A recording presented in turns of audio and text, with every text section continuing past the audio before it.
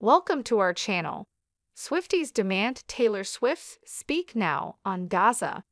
Swifties flocked to the social media platform X on Wednesday to demand that Taylor Swift speak now on Gaza, calling out her silence on the ongoing conflict. The hashtag Swifties for Palestine was trending on X, garnering nearly 80,000 posts by Wednesday afternoon. The online callout comes after an Israeli airstrike in Rafah killed at least 45 Palestinians over the weekend, sparking international outrage. Several celebrities, including Ariana Grande and Kehlani, have since shared statements of support for a ceasefire on social media. But Swift has not been one of them, prompting fans to take to social media. Under the hashtag, fans posted photos of themselves holding up signs saying, We demand swift action and Swifties for Palestine outside the singer's Eras Tour venues in Europe. Fans were also circulating a letter on X, pressing the singer to use her large platform to speak up in support of the Palestinian cause.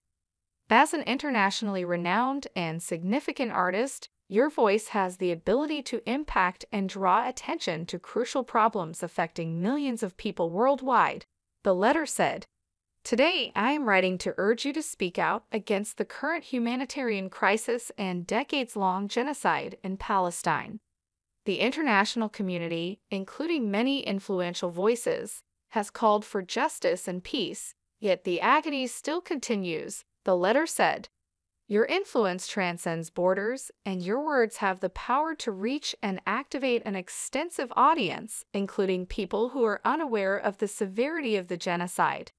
Speaking out about the Palestinian genocide would not only be consistent with your history of advocating for the victims, but it could also encourage your millions of fans to learn and take action to help. Your smallest action could make a significant difference in amplifying these pleas for pressing for real change. Free Palestine. The post had received more than 955,000 views and 23,000 likes by Wednesday afternoon. The trending hashtag comes after the online blockout campaign, when social media users started blocking celebrities who had not spoken out about the war in Gaza.